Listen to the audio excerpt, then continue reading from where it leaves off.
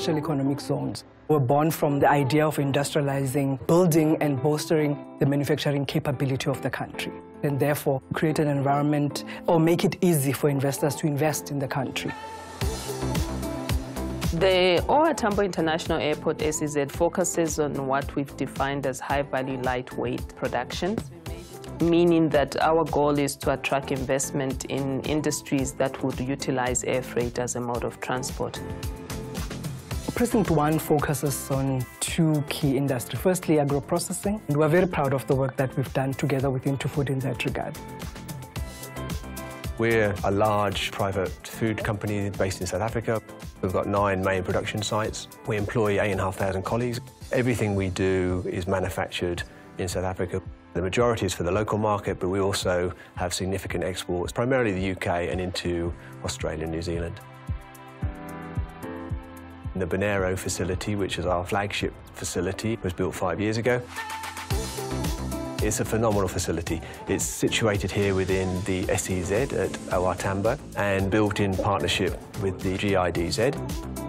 It's one of the largest fresh food businesses anywhere in the world and certainly one of the most complex with a number of products here. When I started working in the business, I decided I have to use the business as my university and then I have to ensure that there's a goal that I have to achieve. I started as a prepper, and then from technical quality control, they've moved me to quality control supervisor, and then to quality services manager, and then skill development facilitator, where we train people. We recognise that if we want to grow the business, we've got to grow our people. We want our colleagues to be able to fulfil their aspirations within In2Food Group, and that all lends itself to this growth mindset. It was the beginning of the factory. They asked me to run hygiene. We have to start a quality management system where we have to ensure that all our customer code of practice matches our processes in the factory.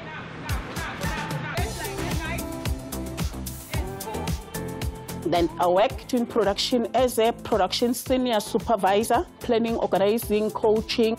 They said to me, Agnes, we want you to go do dispatch. That is how I've grown in this business, and I love it because of it has more challenges.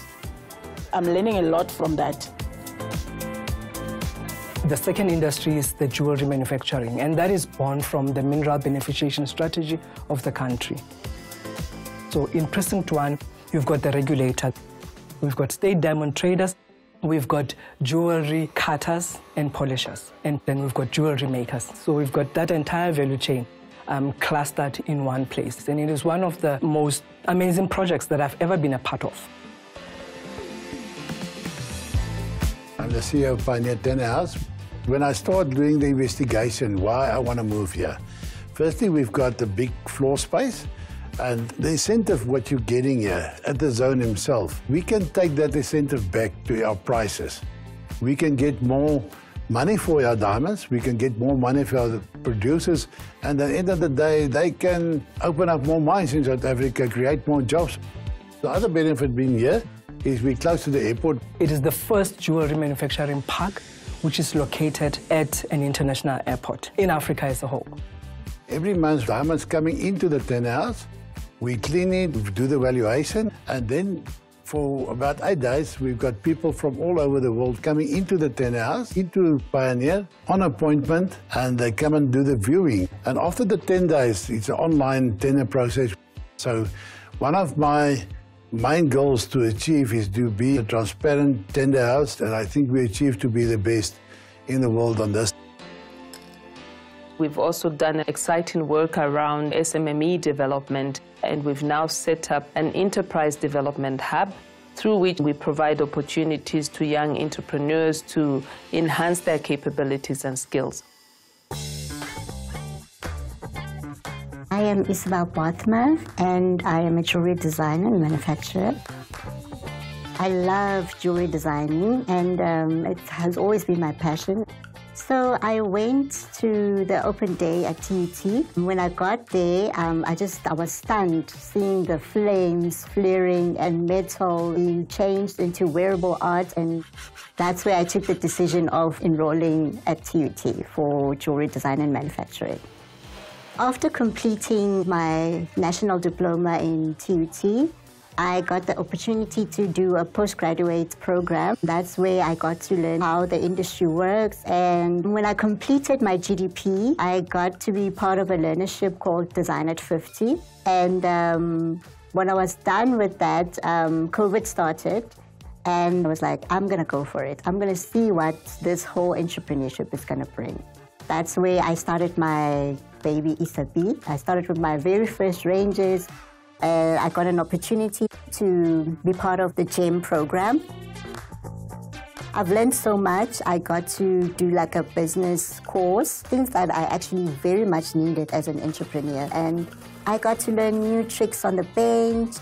While I was still there, there was an opportunity that Woolworths SA introduced. And fast forward to today, I am part of the top 15 Woolworths Youth Makers competition winners. I'm hoping that my business will just grow. And when I just look at my journey, I'd say I'm really proud. I'm really proud for not giving up. I'm proud that I've persevered. I'm just super proud of the person I've become. As we move forward now, we are turning our attention to ORTIA Precinct 2, where we have 29 hectares that we are in the process of unlocking for investment uptake. We are quite excited about making the zone a home for the pharmaceutical and health cluster. There is a huge opportunity for South Africa and Africa to be able to produce these products for consumption on the continent.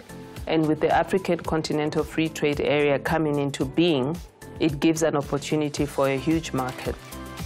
Southern Implants started in 1988. Um, it was the first and only dental implant manufacturing company in South Africa, probably one of the biggest exporting medical device companies in the country as well. I think the idea of a precinct for medical device manufacturing and pharmaceutical is actually a fantastic idea. The huge advantage is just your collaboration and communication. Being close together means that you can also see what capabilities each different unit has and how you can learn from them or utilize them. Having uh, VAT and tax incentives is obviously huge because when you've got these costs to export from your regulatory bodies, you'll be able to then rather allocate that money to the investment into your regulatory costs. And it just means that your barriers to entry then are significantly lower. Through doing that, of course, we promote industrialization, we promote job creation, we promote uh, socio-economic development, and most importantly, we promote equitable access to healthcare products. I think there's huge potential for benefit and economic benefit for South Africa. And if you have an environment like this, you can really just start to create these jobs.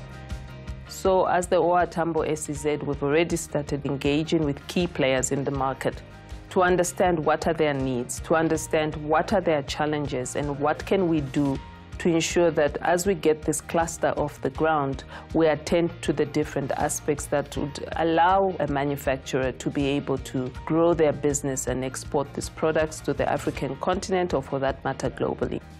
As we develop this, what's key is public-private partnerships to respond to the different needs. What do we need to unlock from a regulatory or legislative uh, perspective? What do we need to unlock from an incentive perspective so that we allow the private sector party to focus on what it is that they do best, which is to manufacture.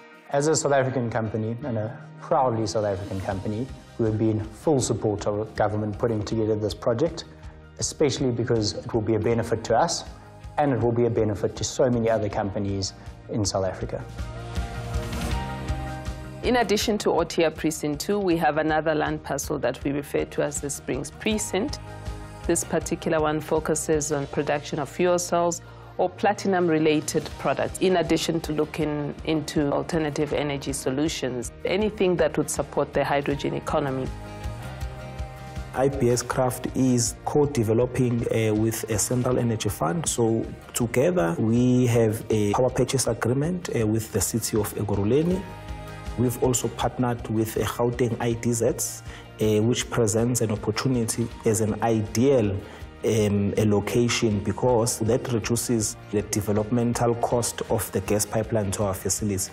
We can also power directly to industries surrounding that area. We've integrated different energy systems, and we think that um, the future of energy systems is going to look like this. And therefore, uh, that IDZ presents a opportunity to create an energy sustainable industrial zone uh, that is able to power itself, but in turn create employment and drive a regional trade or exports. We're quite excited that we've been able to contribute positively to the mineral beneficiation agenda in South Africa. It's been a journey of challenges and sleepless nights and difficulties, but at the end of it all, it stands. And that same resilience and excitement we want to bring to the next chapter of the OR Tambo SEZ.